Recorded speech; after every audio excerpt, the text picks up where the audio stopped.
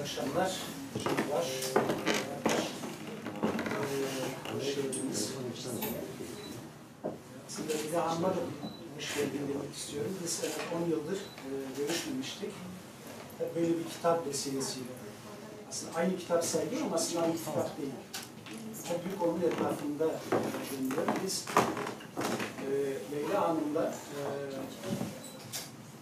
98 veya 98 falan daha TÜYAP Kitap Fuarı burada yapıldığı dönemlerde küçücük bir stand vardı ve girişler de çok dardı. Ee, oradan birisinin çok dikkatli standı gözlemlediğini, daha önce işte gelip hep e, kitapları aldığını söyledi bizim arkadaşlar. Ben de tanışmak istedim. İlk tanışmamız e, öyle oldu. O zamanlar sanırım Malmisanj'ın e, Bedirhanler kitabını, Zira Botanlı Bedirhanler kitabını yayınlamıştı.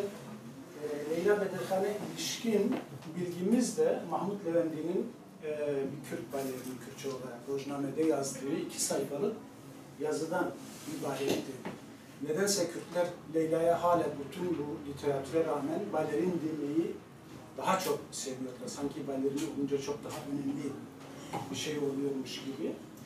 Ee, orada tanıştık ve daha sonra sık sık işte yayın evine başka şeylerde bir araya geldik ve bu Leyla biraz ketumdur e, kendisi. Bu Leyla meselesinden bahsetti. Bundan bahsettikten sonra tabii biz peşini hiçbir şekilde e, bırakmadık. Sonra merak etmeyin bir iki sene içinde e, size kitap olarak gelecek e, dedi. 2003 yılındaydı sanırım. Bizim o zaman ofisimiz şurada bir yerdeydi. Leyla Hanım bir gün elinde birkaç dosyayla geldi. O her fotoğrafın 5-10 tane kopyasını çekiyordu. O zaman şimdiki gibi dijital şeyler bu kadar gelişmemişti. Ve biz kitabı çalışmaya başladık. Ama sanırım o zamana kadar e, en uzun çalıştığımız e, kitaptı. Çok çok e, titizdi. Bu titizliği elbette biz de çok e, önemsiyorduk, hoşumuza gidiyordu ve e, sonuçta ilk olarak 2004 yılında şu kitap e, çıktı. Leyla bir Kürt prensesinin öyküsü. Elbette biz Leyla Bedirhan'ı, dansör olan Leyla Bedirhan'ı ön plana çıkardık ama aslında bu kitap bir ismin, aynı isimli üç kadının hikayesi. Birincisi yazarın kendisi. E, Leyla e, Hanım kendi isminin serüveninin peşine e, düşüyor. İsmi yengesinden İsviçreli, İsviçre'den Türkiye'ye gelin olarak gelen yengesi, yengesinden almış dayısı, dayımızın e, eşiydi. E, bir gün ona soruyor, e, yani benim ismim sizden e, geliyor. Sizin isminiz yani o Müslüman değil Yahudi İsviçreli bir aileden gelmez. Sizin isminiz nereden geliyor diye. O da senin de benim de ismim e, Kürt bir prensesten geliyor diyor. Şimdi Kürt, prenses ve benzeri şeyler bir araya gelince tabii ortalık şu anda bile biraz e, karışıyor. E, daha sonra işte ufak ufak gazete küpürlerinden, resimlerden Leyla Hanım bu e, Leyla'nın, Kürt prenses, e, dans, dansın prensesi Leyla'nın hikayesinin peşine e, düşüyor. E, ve ortaya ilk e, bu kitap çıktı. Son derece aslında Leyla'nın e, baleri, yani dansör olan Leyla'nın hikayesinden soyutlandığında da e, tek başına bir hikaye olarak çok çok etkileyici bir kitap e, olduğunu e, düşünüyorum. Ardından 2009 muydu? 2009'da 2010 e, tabii bu kitabın çevirisi de bu biraz daha genişletilmiş hali İngilizce olarak e, çıktı. E, biz tabii bu çalışmanın devam ettiğini biliyorduk. Dolayısıyla hani bu İngilizceyi yeniden Türkçe veya Kürtçe yapalım diye e, düşünmedik. Leyla Hanım adeta bir arkeolog titizliğiyle sürekli her gün bir, bir, bir e, fotoğraf. Ben yıllarca tek bir fotoğrafın Amerika'dan herhangi bir Avrupa ülkesinden bir fotoğrafın peşine düştüğünü e, düşünüyordum. Hatta mesela şu kapaktaki fotoğraf, şu Paris Camii'nde çekilen iç kapaktaki e, fotoğraf için belki bir yıldan fazla, yani biz bile bir geciktirdik kitabın yayının sonunda ne olursa olsun bir şekilde hani cevap da alamıyoruz. Bu fotoğrafı kullanacağız diye e, şey yaptık. E, kitap yayınlandıktan hemen sonunda da çalışmaların e, devam ettiğini bildiğimiz için çok fazla ısrar etmedik hani kitabı çevirtelim veya yeniden yayınlayalım diye.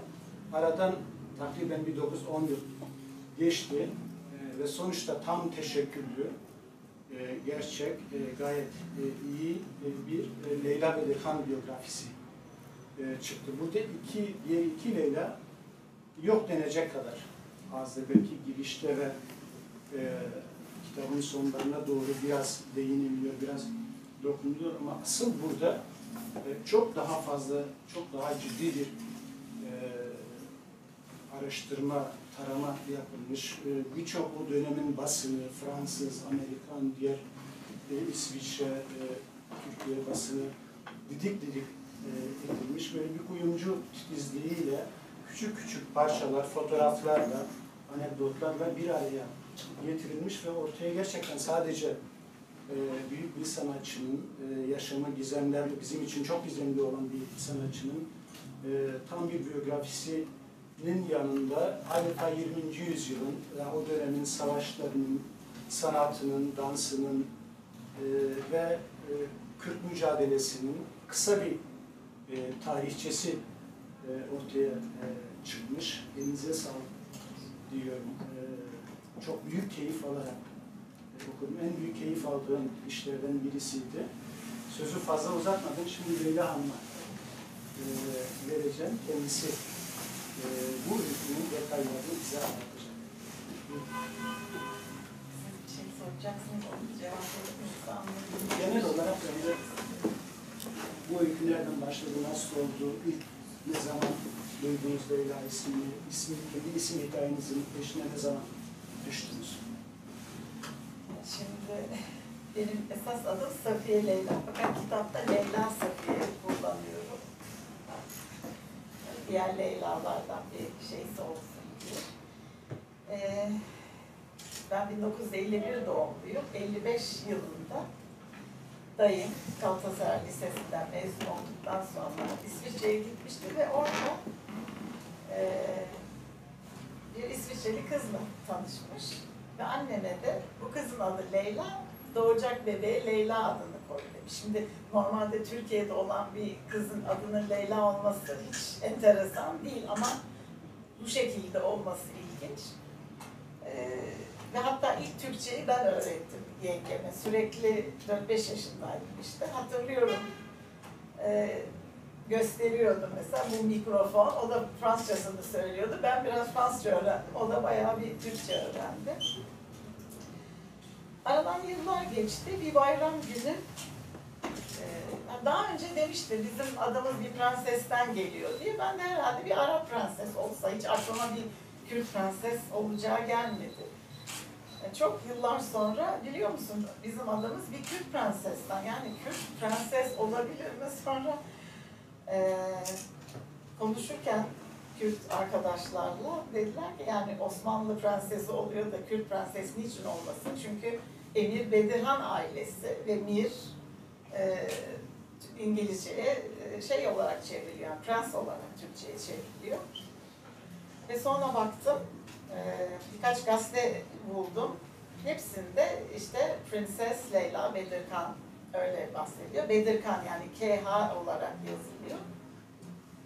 Fakat ilk kitap düşündüğümde, notlar aldığımda daha çok ismin öyküsünü yani Leyla Bedirhan, ondan sonra Leyla Pere, e, yengem İsviçreli, Fransızca konuşan bölümden, Lozanlı. Ve sonra kendimden bir- birkaç şey e, koymak istiyordum. Leyla Bedirhan'ın nasıl bir sanatçı olduğunu, ailesini pek tanımıyordum. Fakat tabii en büyük rehberim Mahmut Sanlıcı'nın yazdığı Bedirhan kitabıydı. Ee, ondan baktım. Mahmut Levent'in Rojnamesi'ndeki o iki sayfalık makaleyi buldum. Ve nitekim sonra e, Google'dan aramaya başladım. Ve o zaman tabii daha yeni kullanıyorum ve bilmiyorum. Mesela tırnak içine almayı bilmiyordum. Mesela Leyla arayınca milyonlarca Leyla çıktı. Sonra onu da öğrenince Leyla Bedirhan. tabii yengem bana anlattı. Ve aslında bütün detaylar yengemin iyi bir hafızası olmasına dayalı. Ee, şimdi vefat etti kendisi. Kitabı, ilk kitabı görebildi. Ee, bir genç kız olmasına rağmen çünkü Leyla Bedirhan esasında yengemin annesinin arkadaşı. Ee, birazcık tarihçesine gireyim o zaman şeyin. Ee, Google'da aslında çok yanlış bilgiler dolaşıyor Leyla Bedirhan'la ilgili. Hatta ilk kitapta ben bile o hatayı yaptım. 1908 doğumlu diye. O nereden çıktı hiç bilmiyorum. Fakat kendi e, kimliğinde 1907 yazıyor ve kimlik de yanlış. Çünkü asıl doğum tarihi 1903. Şimdi doğum tarihi çok mu önemli diyeceksiniz. Çok önemli benim açımdan da ve öyle olması lazım. Çünkü 1900'de evlenmiş Leyla Bedirhan'ın annesi babası. Babası Abdülrezzak Bedirhan, Mir Bedirhan'ın e, torunu. Onda da yanlışlıklar var. Kimi oğlu diyor, kimi e, başka bir şey söylüyor. Oğlu ne, e, Necip Paşa'nın oğlu Abdülrezzak Bey ve kendisi paşa değil. Bazıları da öyle yazıyor. Abdülrezzak Bedirhan paşa değil. Ee, annesi Henriette Hornig, Roman e, Yahudi. Onu da işte Avusturyalı diyorlar. Aslında Avusturya Macaristan vatandaşı fakat aslı Galat'ta doğmuş. Galati Galat. Ee, 1874'te. Ve çok ilginç bir şey. Bu kitabı çalışırken bazı ilkleri buldum. Çünkü Henriette Hornig Osmanlı topraklarına gelen ilk yabancı diş hekimi. Ee, kendisi ilanında e, Viyana Darülfünun'dan mezun olduğunu yazıyor. Fakat o yıllar araştırma yapınca oraya da yazdım. Ee, adı yok. Herhalde bir reklam olarak kullanıldı. Aslında sonradan buldum. Ee, kitapta da var. E, Romanya'da bir e, tıp şeyinden mezun olmuş ve ikinci sınıf dişçilik yapma hakkı var. Sonradan Viyana'da bir e, staj yapmış olabilir, o kadarını bilmiyorum. Fakat Müslüman erkeklerin eşlerine yabancı erkekler eli, eli değmesin diye kadınların tıpta gelip yardımcı olmaları önemli diye gelmiş İstanbul'a, tabii Konstantinopol o zaman. 1896 yılında hanımlara mahsus gazeteye yazı yazmış, ilan. Ve çok ilginç, orada e, işte ilginç bir oryantalist bakış açısı, yani oryantalist bakış açısını kırıyor daha doğrusu eleştiriyor. O benim çok ilgimi çekti. Ee, ve işte bazı rehberlerin ya- yalan yanlış anlatımlarıyla Osmanlı çok farklı tanıtılıyor ama bir de esas sorun e, olarak şeyi görüyor. Yani çok aydın, çok e, ileri görüşlü bir kadın, genç bir kadın. E, buna rağmen e, Osmanlılar hakkında bilgiyi yalnız yerel azınlıklardan öğrenebiliyoruz. Onun için Müslüman Osmanlıları tanımıyoruz diyor ve onlara ulaşmak için ben e, hanımlara mahsus gazetede e, ilan veriyorum diyor. Yani basarsanız memnun olurum. Basıyorlar. Hatta diyor ki bir de Fransızca olursa herkes okur. Daha geniş e, bir kütle tanır e, birbirini ve kadın olarak dayanışmamızı. Ve hakikaten hanımlara mahsus gazete ilanını basıyor ve onu övüyor ve bir dişçi olarak ehil olduğunu söylüyor. Hakikaten sağlık açısından bir takım önerilerde bulunuyor. Çok akıllı e, bir kadın olduğunu, çok hoş bir kadın olduğunu zaten bize e, Konstantinopol'de o zamanki adıyla İstanbul'da Fransızca hocalığı yapan Bertrand Barey anlatıyor. O da öyle söylüyor. Çeşitli rivayetler var nasıl tanıştılar ama hepsinin ortak noktası şu. Henriette Hornig önce Abdülrezzak Bedirhan ha- hastası oluyor sonra da eşi oluyor. Ama 1900'de evleniyorlar. E, 1901'de bir oğulları oluyor adı Necip. Ondan sonra 1903'te Leyla doğuyor. Leyla aynı zamanda Mir Bedirhan'ın kızının adı ve hatta başka e, torunların da adı Leyla. Ta- Tabii sırf onun için mi Leyla kondu yoksa o zamanlar e, yani Osmanlı dışında da Leyla sevilen bir ad, oryantalist bir ad. Victor Hugo'lar, Gautier'ler hep Leyla adını kullanmış. E, ondan sonra çok ilginç bir şey, Osmanlı arşivlerine girdiğimde ve orada Marmi Sancı'nın hakkını yemeyip çünkü bütün Osmanlıca ve Kürtçe çevirileri o yaptı bu kitap için ama hatalar bana ait tabii. Ee, orada 1904 yılında bir nafaka davasıyla karşılaştık. Ee, Henriette Hornik ayrıldı Abdülrezzak Bedirhan'dan.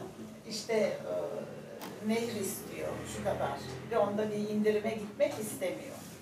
Ee, bunu gördük. Yani sadece üç buçuk senelik bir evlilik ve Leyla Bedirhan herhalde ya anne karnında babasız kaldı yahut da e, çok daha küçükken babasını hiç tanımadığını düşünüyorum. Önce tanımış olabilir, arada görmüş olabilir ama hayır. Ondan sonra e, aradan bir zaman geçiyor. Abi bir de şöyle bir şey oluyor tabii ayrıldıklarında e, Necip, oğul, oğul yani, babada kalıyor. Bir Müslümanla zaten bir Hristiyan veya Yahudinin evliliğinde çocuklar e, daima babaya veriliyor. Yani babanın e, vesayetinde olması lazım. Fakat bu arada 1906'da Rıdvan Paşa olayı oluyor. Rıdvan Paşa e, belediye başkanı ve onu işte detayları kitapta olsun artık çok detayına girmeyeyim. Rıdvan Paşa katlediliyor. Abdülrezzak Bey e, a, ve ailesi Ali Şamil Bedirhan Paşa, onun da parmağı olduğu söyleniyor. E, azmettirici olarak. Ve bunun üzerine sürgüne yollanıyor. Trablus'a sürgüne gidiyorlar. E, o bakımdan 1906'dan 1910'a kadar Trablus'ta sürgünde yani Leyla Bedirhan 1908'de doğmuş olması zaten söz konusu değil. Fakat e, gazetelere baktıkça mesela 1920 21 veya 24'te basılan gazetelere doğum tarihi 1903 olarak geçiyor orada. O zaman değişmemiş ama sonradan hem annesi hem kendisi yaşlarını küçültmüşler. Öyle ilginç bir e, nokta var. Ee, epey bir şey anlattım Gayet galiba. Başka soru sormak isteyen var mı bu arada? Mısır. Yani Ha Mısır'a gelelim peki. Ee, şimdi 1906'da e, sürgüne gidince Abdülrezzak Bedirhan eski eşi oğlunu almak için uğraşıyor. Yani belki alabilirim oğlumu diye. Hatta Abdülrezzak Bedirhan ve Bedirhan ailesi hakkında şikayet de ederim eğer vermezse diye böyle hafif bir tehdidimsi bir şey. Günümüzde de çok anlaşılabilir. E, fakat olmuyor. E, ve aradan e, kısa bir zaman geçtikten sonra burada Leyla Bedirhan'ın çok sonra gazeteye verdiği e, işte düşmanlar öldürttü abimi e, diyor. E, Henriette de yani annesi de öyle diyor. Düşmanlarımız öldürdü. Halbuki bir kazada küçük bir çocuk olarak öldüğünü biliyoruz ama Abdülrezzak Bey e, sürgüne gittiğinde Trablus'a bir kız bir erkek evladı var diye yazıyor o Bedirhan kitabında. E, bunun üzerine 1907'de Mısır Hidivi'nin özel dişçisi olarak Henriette Hornik Bedirhan diyelim. Çünkü daima Bedirhan soyadını kullanmış. Onu da sonra ilginç bir şey olacak, onu anlatacağım. Ee, Mısır'a Hidiv e, özel dişçisi olarak gidiyor. Ayrıca da hastanede de baş dişçi olarak çalışıyor. Çok çalışkan, azimli. Bu arada kız kardeşi de dişçi. Bir de erkek kardeşi var, o da dişçi. Yani bütün aile okumuş ve e, dişçi olmuşlar.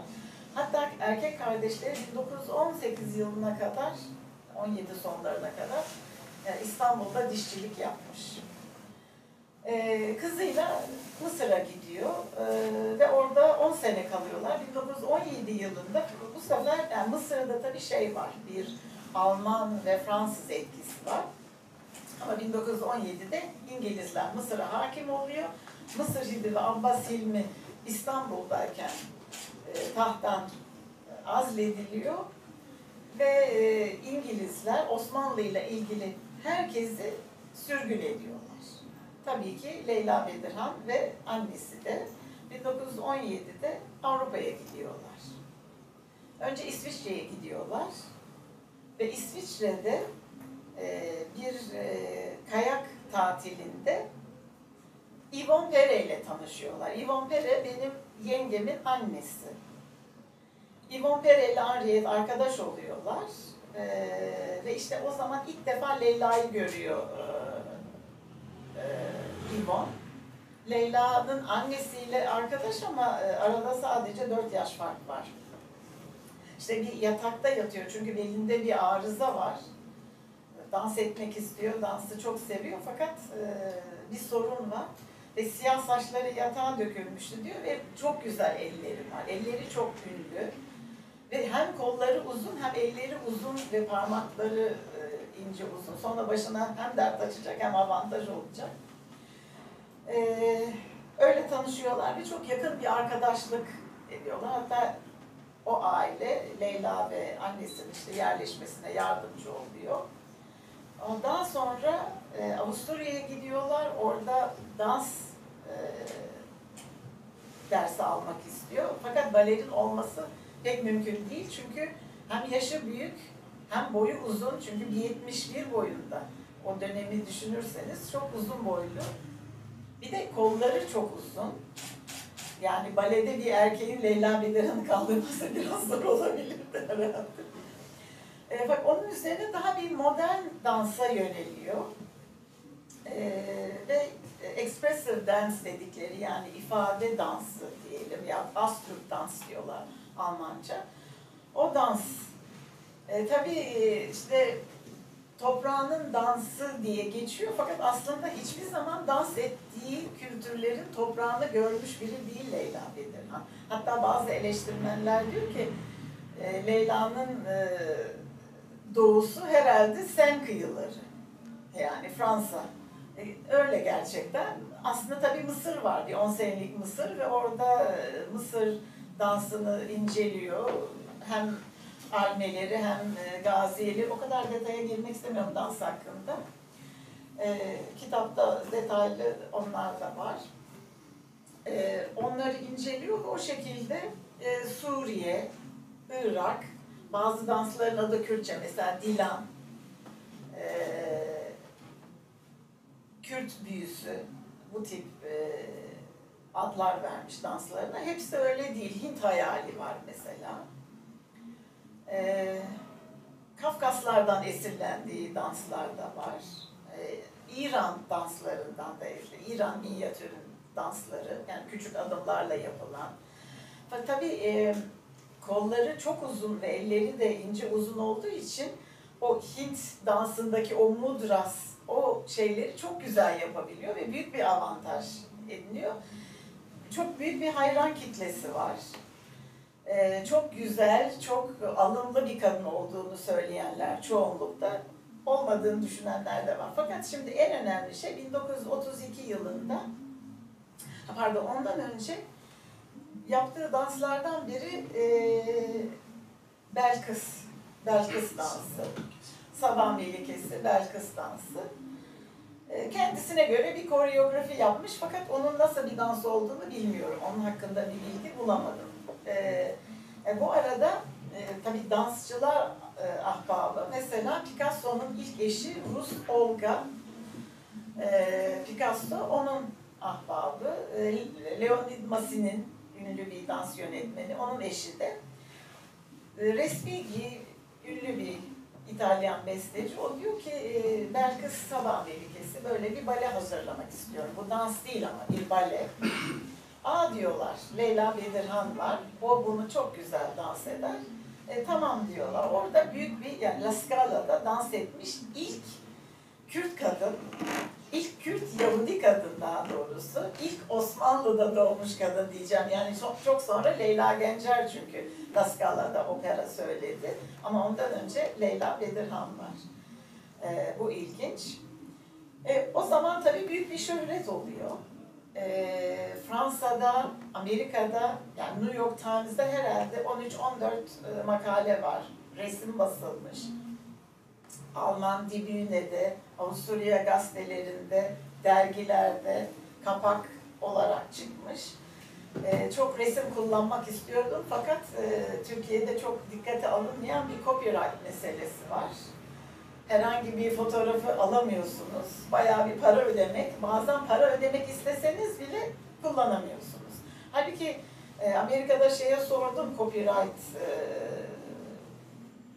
uğraşan bir şey. Leyla Bedirhan'ın copyright'ı yok fakat fotoğrafı çekenin copyright'ı var. Ve sanatçının ölümünden 70 sene sonra ancak kamuya açılıyor. Onun için yani YouTube'da ve internette gezenler aslında bayağı şey. O nedenle yani dikkat etmek gerekiyor. Hepsini koyamadık onun için resme. Fakat ben şimdi ya- yazınca yani bayağı Le- Leyla Bedirhan üstüne tez yazmış gibi. Bu resmi Leyla Bedirhan'ın öğrencisi olan bir Yahudi kadının oğlu yolladı bana İsrail'den. E, bu resmi, bu fotoğrafı da şeyden buldum. E, New York Kütüphanesi'nden. Ve tabii bir de şunu görüyorum. Yani kendi hakkımızda bir araştırma yapsak bile batıya muhtacız ve oradan tekrar para vererek almak zorundayız. Ee, çok ünlü oluyor ve e, 1939 yılına gelindiğinde e, pardon 1933 yılına gelindiğinde arkadaşı Yv- Yvonne Bonar, Yvonne Bonar Pere olmuş, evlenmiş. Onun bir kızı doğuyor. Ve Yvonne Leyla'yı çok sevdiği için ve hayran olduğu için benim bir kızım olursa adını Leyla koyacağım. Leyla Bedirhan e, kendi adını böyle Leila diye yazıyor ve iki nokta koyuyor i'nin üstüne. E, şimdi aslında yengemin de öyle fakat kitapta ayrışsın diye ona tek şey koyduk, nokta koyduk. Ve işte yengem doğuyor, onun adı Leyla oluyor. E, hem isim annesi hem vaftiz annesi.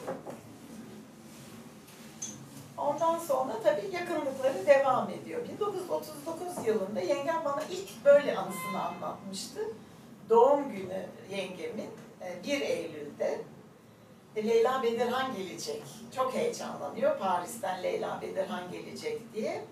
Hangi yılda bu? 1939. 39. E, tabii bu sırada Leyla Bedirhan ve annesi Paris'teler ve artık e, Almanya'da kristal nahlar olmuş, Hitler e, bayağı palazlanıyor.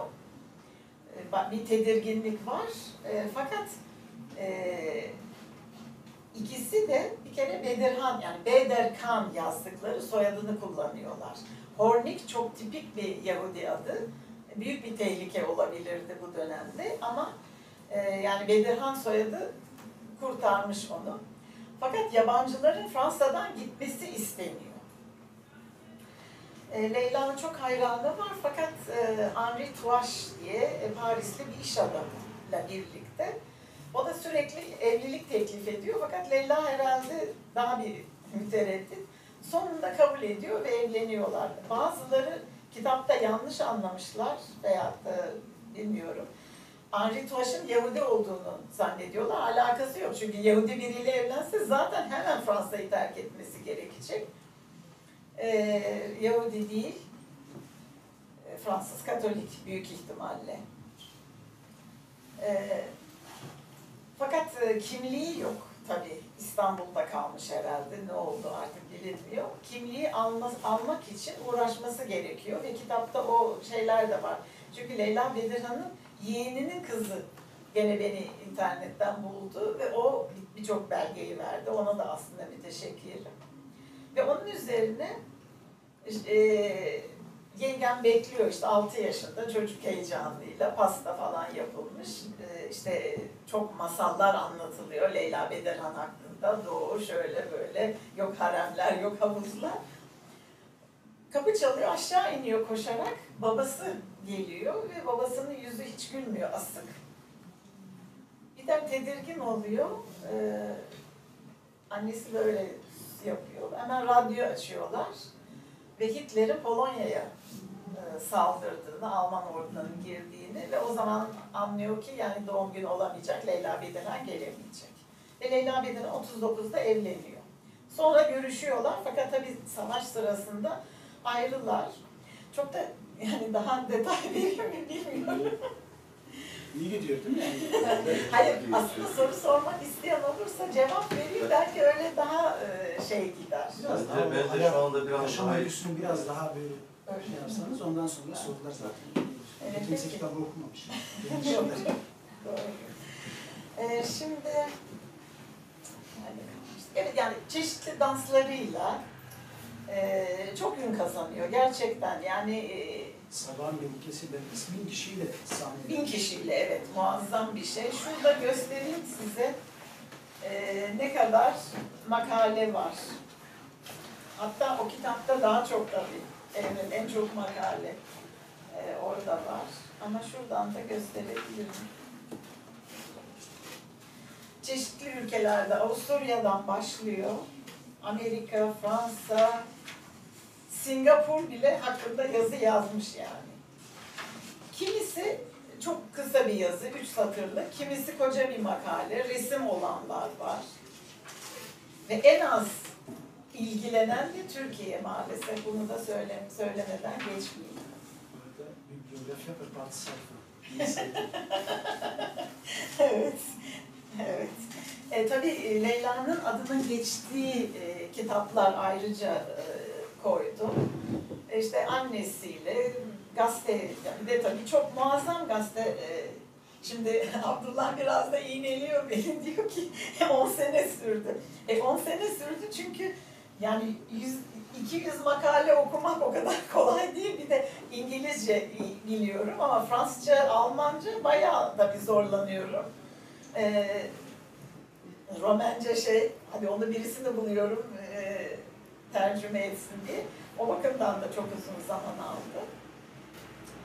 E, fakat ha, isme dönersek şöyle de bir şey var. Kitabın sonunda ismi de öyküsünü sürdürdüm. Çünkü ben de kızıma Leyla adını verdim. Oğlum da ve İspanyol gelinim de kendi kızlarına Leyla adını verdiler. Yani Leyla'dır gidiyor. Ve hepsi şey dediğim gibi yani Leyla'dan dolayı.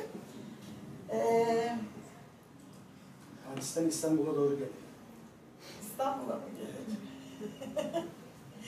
Çünkü son dönemlerinde birkaç yılda bir gelmiş ya da ondan önce Paris'teki Ha. mesela bu kitapta tabii bayağı e, magazinel şeyler de e, var. Sinan hasta olduğu için konuşamadı kitabın çıktığını söyledim sadece.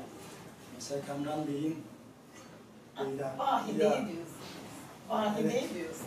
Vahide diye bir Aha. Ümmetinden haberim yoktu. Aha. Ortalıkta da yok. Ee, evlilik de teklif ediyor galiba ve Öyle duydum. nazik bir şekilde reddediyor. Evet. Ve sonra kendisi aracı olmuş.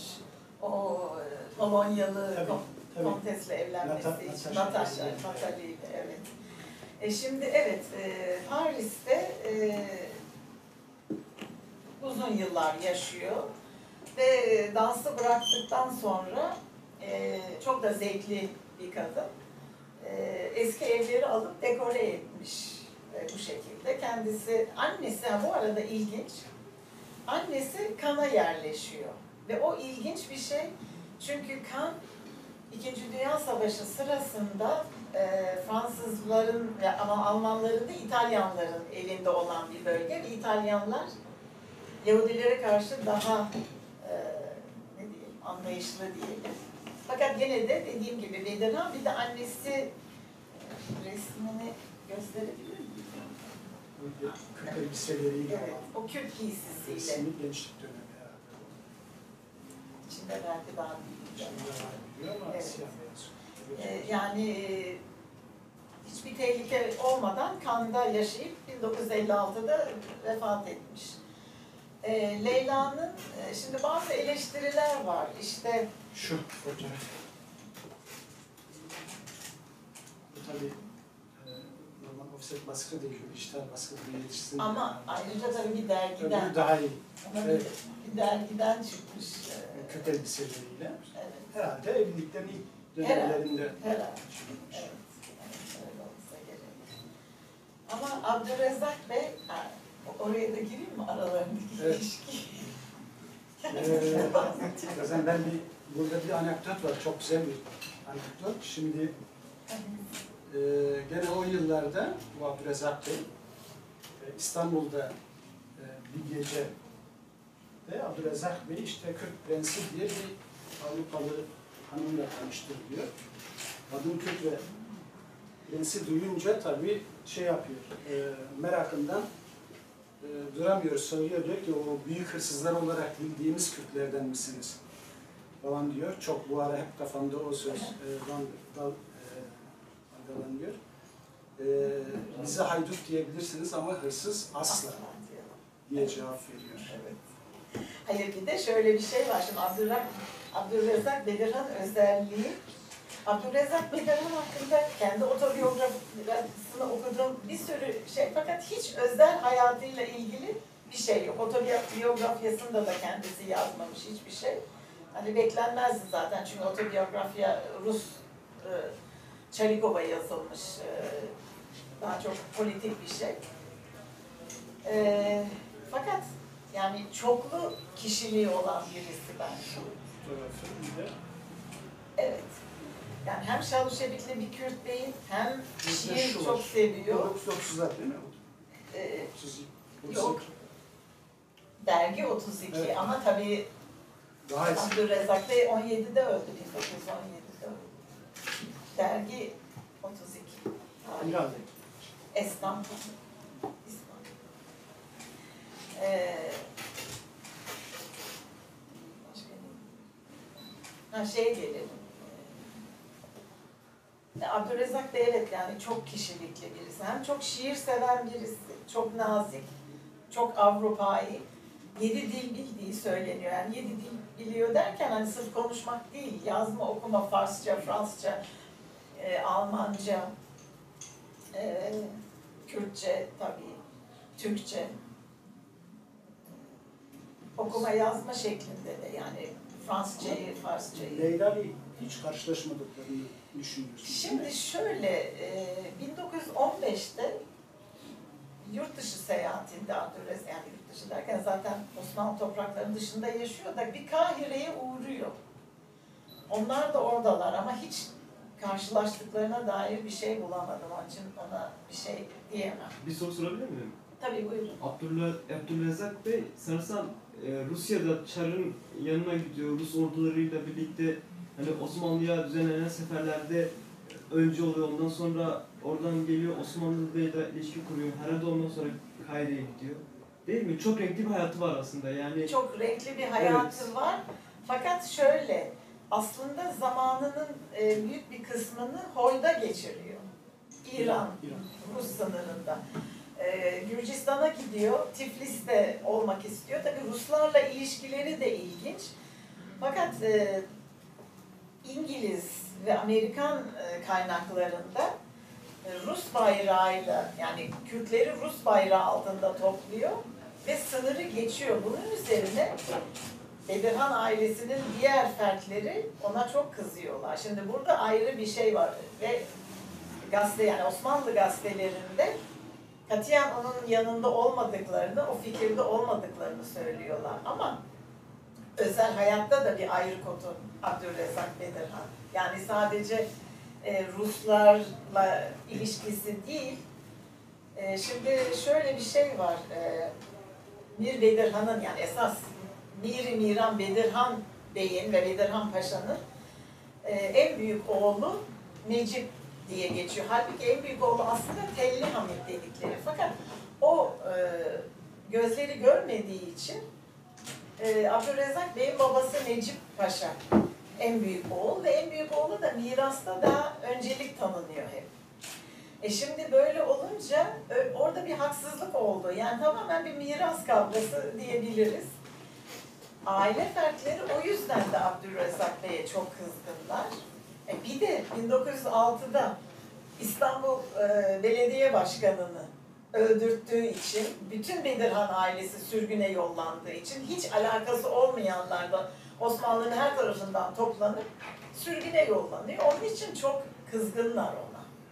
E, fakat buna rağmen e, Leyla'la yani Leyla'ya hayranlık duyanlar var. İlginç başka bir noktada şimdi Kamran ve Celadet Bedirhan beyler işte havar çıkarıyorlar. Ronahi şu bu. E, fakat hiçbirinde Leyla ile ilgili bir şey yazılı değil. O benim ilgimi çekti. Çünkü e, Bedirhan adını yaymak istiyorlar. E, Kamuran Bedirhan olsun, Celadet Bedirhan olsun. Ayrıca da özellikle Kamuran Bey çok hayran. Ama ben hep düşündüm acaba yani gerçekten fedakar kahraman Kürt kadını mı? Örnek Kürt kadını olacak. Dans eden bir Kürt kadını hani hoşlarına gitmiyor mu diye. Fakat sonra e, Kamuran Bedirhan öldüğünde e, Süreyya Bedirhan'ın yazdığı işte bu vahide e, 30 sayfalık bir tekst buluyor.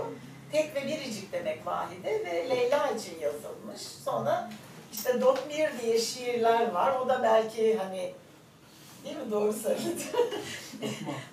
yani onun için olabilir. Ee, öyle e, hayranlıkları var fakat e, ayrıca da böyle Kürtler hakkında yani bir şey yapmıyor diyorlar fakat Kürt adını geçiren, danslarına Kürt adı veren bir kadın. Ve bütün e, şeylerde tamam Türk prensesi diyen var, e, İranlı diyen var, Ermeni diyen, Gürcü, Rus hepsi. Fakat yüzde herhalde doksanı The Kurdish Princess, Kürt prenses hep bunu yazıyorlar. Onun için yani Kürtlerin Kürtler için bir şey yapmadığı şeyini hiç kabul edemem Leyla için. Yani erkekler kadar yani, yani babasının kalem ve kılıçla yaptığını Leyla dansıyla yaptı diyorum kendimce. Buyurun. Böyle e, güzel bir ekleme yapmak istiyordum. Şimdi Asya'dan çıkmış böyle Mustafa Barzani'nin e, biyografik kitabı işte orada bahsediyor. E, Abdülrezzak Bey İran'dayken e, Mustafa Barzani'nin babası Abdüsselam e, Barzani ve Seyit Taha ve e, Ubeydullah'ın insanları sırasında orada toplanıyorlar. Irak- Osmanlı'dan kaçıp oraya gidiyorlar. O da oraya geliyor işte ondan sonra o isyanla da ilişkili olarak hani dediğiniz gibi e, işte sınırı geçiyor ve e, sonrası zaten dediğiniz gibi gelişiyor böyle. Evet, aynen. Müzakereyi önlüyor yani. Fakat tabii Abdülrezzak Bedirhan'ın tabii çok enteresan. Leyla daha sonra bir dans okulu kuruyor Paris'te. Ve e, çok ünlü insanları, çocukları, e, kızları, bir iki tane de erkek var galiba. Onlar dans dersi alıyorlar Leyla'dan. Çok e, ünlü yani o açıdan da çok ünlü. Eğitmeyi seviyor ve tabii onun hakkında hiçbir şey bulamadım. Fakat e, eski müzik aletleri yani herhalde babasından kalan, İstanbul'dan götürdüğü kumaşlar var, giysiler var, Kürt giysileri veya Mısır'dan götürdü. Yani bunları mesela danslarında kullanmak istemiş ama sonra bakmış ki bu otantik kıyafetlerle dans kolay olmayacak diye. Ama bu şeyini yani babasına çok benzer tarafları var. Ben karakter düşündüğümde karakterlerini. Çünkü babası da bir yandan İkisi de sektir. Hani bir yandan hani kılıç elinde savaşıyor. Fakat bir yandan da kalem ve e, elinde ve üstelik de ha, çok ilginç bir şey var. Ee, imzasını gördüm. Celil, Celil'in kitabında. Abdülrezzak diye atmış imzasını. Biz ben Abdülrezzak diye kullandım ama o L ile yazmış. Ve tabii çok ilginç olan bir şey. e, Arap harflerinin e, Kürtçe'ye hiç uymadığını, Kiril alfabesiyle Kürtçenin çok daha güzel yazılıp okunacağını söylemiş. Yani bu 1915-16 yılında. Yani demek ki Mustafa Kemal'den önce bunu e, düşünmüş e, birileri var.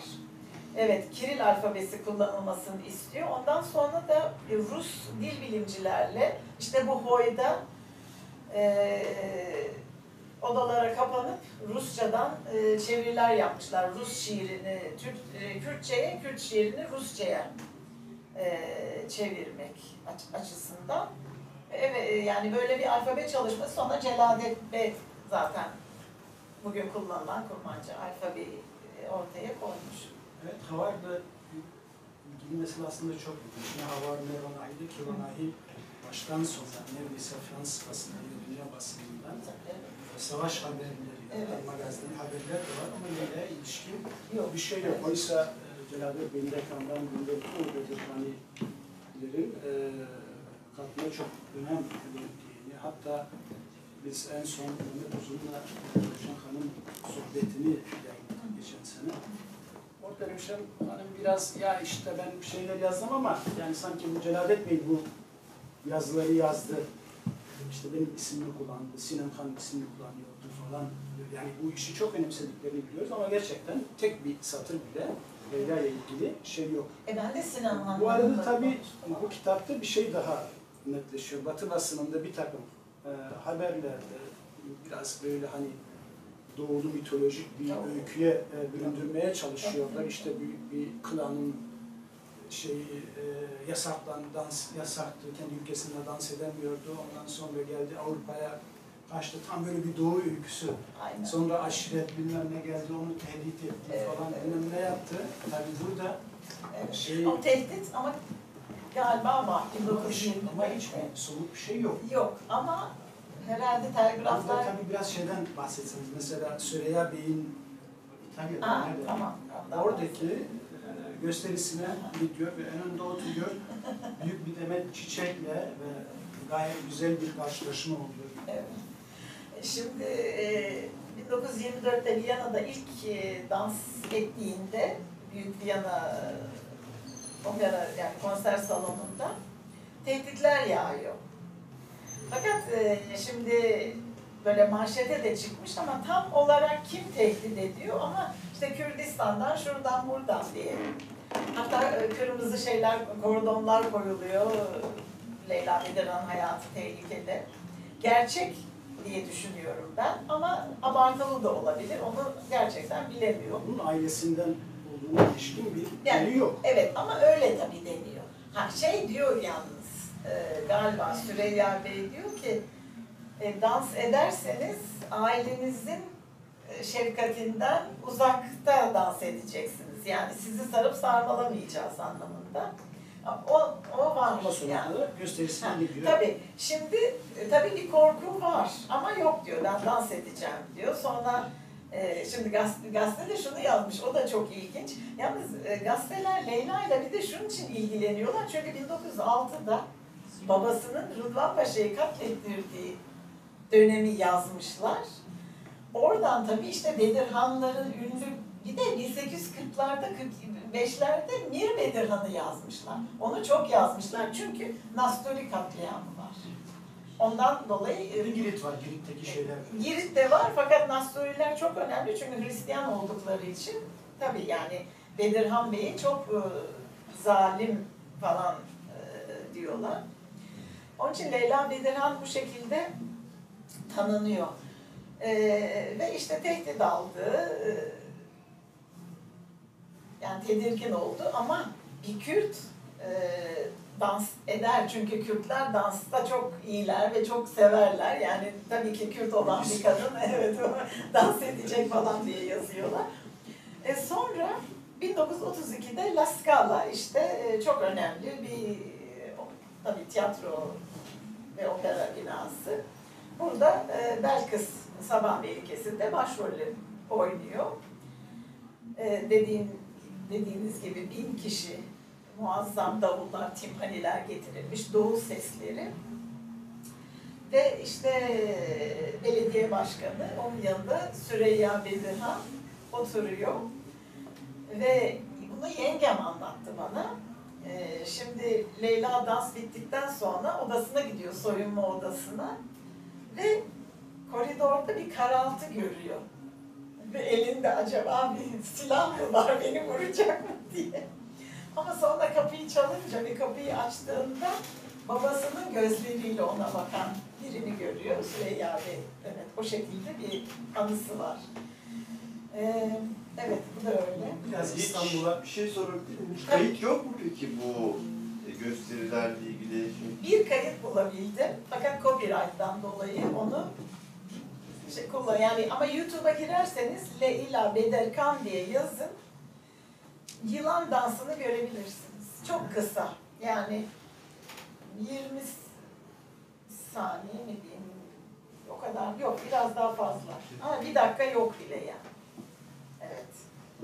Ee, çok pırıltılı bir kostümle o yılan dansını yapıyor. Yani şimdi şöyle e, eleştirmenler ikiye ayrılıyor. Biri diyor ki toprak kültürlerinin olduğu top kültürleri derken tabii İran, Suriye çünkü yabancılar için Doğu yani Osmanlı'dan başlıyor Çin'e kadar uzanıyor. Doğu onlarda tek bir yer şey değil yani zaman değil. Hepsi Doğu. Öyle bir şey var. E, o da hakikaten değişik danslar yapıyor fakat işte kimisi diyor ki hiç beklediğimiz şekilde dans etmedi. Çünkü herhalde yani Türkçe'de bizim kullandığımız anlamda göbek dansı bekliyorlar. Öyle bir dans etmiyor Leyla Bedirhan. Çok farklı. Ve daha ziyade bedenin üst kısmı yani kollar ve eller ve parmaklar. E, zaten yani dans tarihine şöyle bir bakılınca e, mesela balede bacaklar ve ayaklar çok önemli. E, tabii eller kollar önemli ama bacak ayak önemli. Ama mesela Malay, Endonezya oralara gittiğiniz zaman artık kol bile değil, el ve parmak sadece. Yani Leyla Bedirhan da ona yakın bir dans ediyor. Tabii ki vücudunu kımıldatıyor. Yani arkaya eğilmeler var, öne eğilmeler var, yana eğilmeler var. Fakat yani Batılıların o teknik dedikleri akrobatik atlamalar, sıçramalar, baledeki gibi öyle şeyler hiç yok tabii. Yani Doğu danslarının tekniği çok farklı bir teknik. Yani o bakımdan işte kimisi aa hiç böyle beklemiyorduk, kimisi de diyor ki harika dans ediyor. O Doğu'da bildiğimiz, o gördüğümüz işte göbek dansı gibi falan hiç değil. O zaman tabii çok şey var yani danslarda Şimdi Batı'da 1920'leri düşünüyoruz. Kadın bedeninin pardon çok konuştum.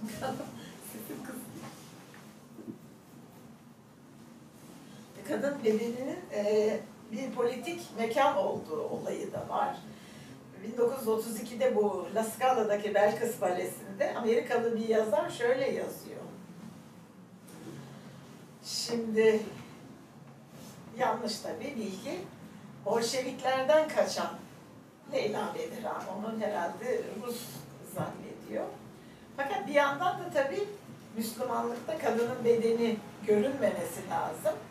Çok müteşekkiriz diyor Ruslara, Bolşevikler sayesinde kaçtı ve biz onu çıplak görüyoruz. Halbuki çıplak falan değil aslında. Fakat Şimdi Batı'da dikkat ederseniz 19. yüzyılda bile kadınların göğüs dekolteleri vardır. Doğu'da halbuki yani göbek dansçılarında mi, mide açık. Bir de ayak çıplak. Mesela Leyla Bedirhan için çıplak ayakla dans ediyor sahnede. Büyük bir şey, sansasyon. Çünkü yok öyle bir şey.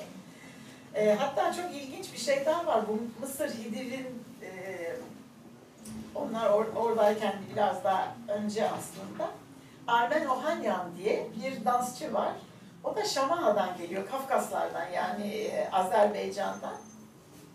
Ermeni asıllı bir dansçı. E, Fran- şeyde Mısır Hidivi için dans ettim diyor. Fakat e, Mısır Hidiv'in iki eşi var. Biri Çerkez, Müslüman, diğeri de e, Avusturyalı yani Macar kontesi. Macar kontesi için çıplak ayakla dans ettim. Ama Çerkez e, için e, şeyle çı- e, çoraplı ayakla dans ettim diyor. Böyle ilginç e, şeyler. Başka aklınıza gelen bir şey var mı? Ee, belki son dönemlerine ilişkin birkaç şey söyleyebilir. Çünkü herhalde bölümüne yakın bir zamana kadar son 5-6 yıl kalmazsa yengenizle görüşmüşler. İstanbul'da da Ee, hayır, İstanbul'da hayır. Bir kere Bodrum'da. Bir kere e, Bodrum'da. Hanım'la görüştüler. Yanlış hatırlamıyorsam Musa Ahmet'le de galiba görüştüler. Ama İstanbul'da mı yoksa Paris'te olduğunu Ben, sanıyorum. e, İstanbul'da e, Sinem Hanım'la Meziyet Hanım'ın evine geldiklerini biliyorum birkaç defa. Yani ha öyle mi? Onu onu ben bilmiyorum. Yengem yalnız şasalarla geldiğini söyledi. Avni Şasa'nın aile eşiyle veya kızıyla öyle. Onlar da. Bedirhan. Onlar da Bedirhan, evet. Onlarla bir kere gitmiş. Şimdi çok ilginç, Leyla Bedirhan'ın bir özelliği de çok hayvan seviyor ve köpek. Ama mesela kitapta göreceksiniz, eee bu Belkıs Balesi'ni çalışırken eee, Milano'da hayvanat bahçesine gidiyor. Aslanlarla, yavru aslanları kucaklayan resimleri var. Yengem de çok severdi, ben de çok seviyorum köpekleri. Fakat eee tabii yani bir de sanatçı kapris diyelim. Ee, e, şimdi bir yandan çok ben merkezli bir kadın. Bencil demek istemiyorum. Fakat bir yandan da mesela köpeği için tatile çıkmayabilirmiş. Köpeği yalnız kalmasın yani böyle de bir kadın. Ee, sonra dans grubuyla e, Yayla Möş Bucak, Evet. Zozan o e, şey babası Faik Uçak'ın kızı o Kamran Bey'in Evet, evet. Ee, şimdi onunla konuştum ben. Ondan da birkaç bilgi aldım. Çünkü Leyla Bedirhan'ı o da tanımış. İlk gördüğünde beni diyor, şöyle yukarıdan aşağı bir süzdü beni.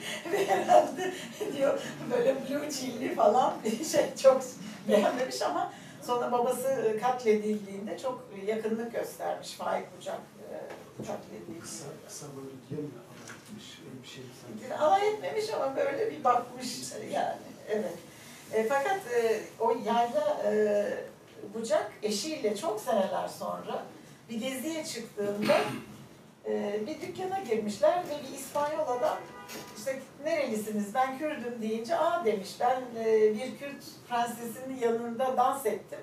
Leyla Bedirhan ve de, demiş zor duruma düştüğünde mücevherlerini sattı grubu ayakta tutabilmek için. Yani böyle bir e, hani aşiret sorumluluğu olan bir kadın yani evet.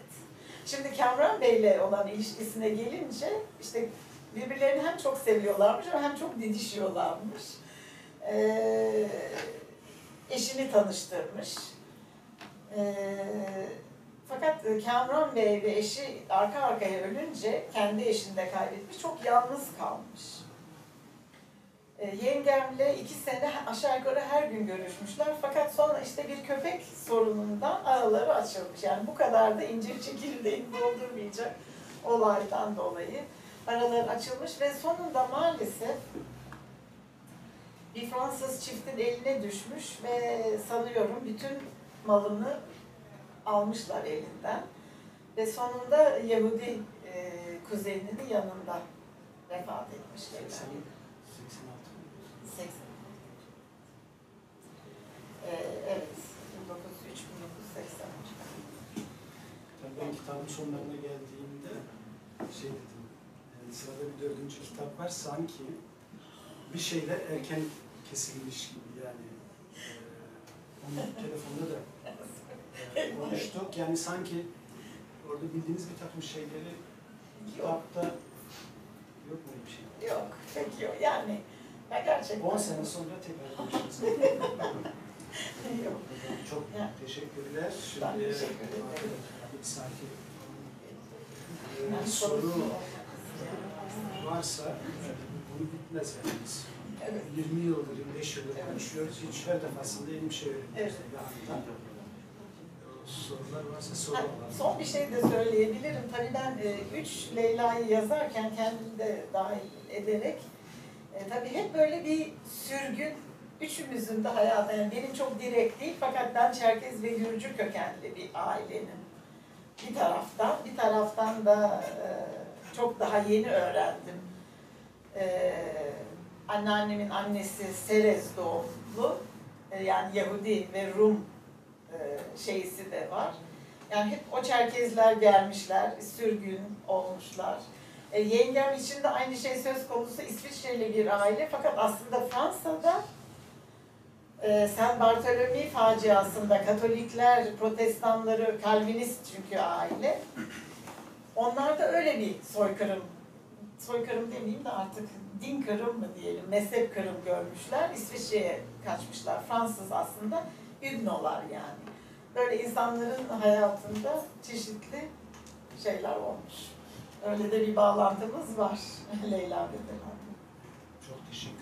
Kalbinize ağzınıza sağlık. Şimdi varsa soru alalım. Ee, Leyla'nın izini sürerken e, Leyla'nın bulunduğu mekanları ziyaret ettiniz mi? Ettiyseniz nasıl bir şey? Ee, Leyla'nın bulunduğu mekanları pek ziyaret ettiğim söylenemez aslında. Ee, o tarafı biraz eksik. Yani Paris'e gittim. Bir takım e, onun oturduğu yani sokakta dolaştım ama çok çok eski. İlk daha kitaba başlamadan. Ee, ama Scala'ya gitmedim doğrusu. Ee, ve sonra şimdi ne bulacağım da bilmiyorum ayrıca. Ee, o tarafı eksik, biraz eksik. Ben, şey- ben şeyi merak ediyorum. Yani Leyla çok küçük yaşta yani babasını gördü mü görmedi mi? Ee, annesi de bir Romen Yahudi. Bu Kürt kimliği nasıl kazanıyor peki? Yani O ilginç, evet ama evet müthiş bir e, Kürt şeysi var ailesinin yani Bedirhan ailesinin ne olduğunu annesi anlatmış muhakkak ki ve de e, Mısır'da kaldı dedim ya Evet. 1907 ile 17 arasında. E, Mısır'da o zaman e, şey çıkıyor Kürdistan dergisi ve çeşitli Bedirhaniler de orada hep bir ilişki olmuş büyük ihtimalle. anneye top tutmamış yani biraz da. Anne evet kopar yani o şekilde kopartmamış. Evet. Ee, yani aslında e, kopartabilirdi. Çünkü Yani Genel, genel öyle oluyor. genelde Genel öyle. oluyor. evet ama olmamış evet. Ama kendisi de Bedirhan soyadını taşımış ölene kadar zaten annede. Sormuştur Ve-. Hiçbir yerde e, hiçbir yerde ilk belki 1924'teki bir, iki gazete dışında annesinin bir kere Yahudi olduğunu hiçbir zaman söylenmemiş. Ve hatta şöyle diyor bir yerde ilginç, e, ailem Kürttü, Türkler katledene kadar. Yani böyle bir cümle kullanmış. Ama annesinin Roman olduğunu bir iki yerde söylese de Yahudilik hiçbir zaman, hiçbir zaman. Hele de İkinci Dünya Savaşı sırasında artık zaten şey değil ama ilginç bir şey var. Ee, mesela Dijon'da hep Türk halk dansları yarışmaları yapılır. E, Türkiye'de genelde hep birinci olur, altın madalya alır. O danslarda o da herhalde davet edilmiş, itiraz etmiş. Ee, bu ödül alan dans aslında bir Kürt dansıdır. Türk diye bunu lanse etmeyin diye protesto etmeyin. Var mı başka soru yoksa? bitirebiliriz. Çok çok teşekkür ederim. Kalemize ağzınıza sağlık. Size teşekkürler. Bu da bana imzalayın.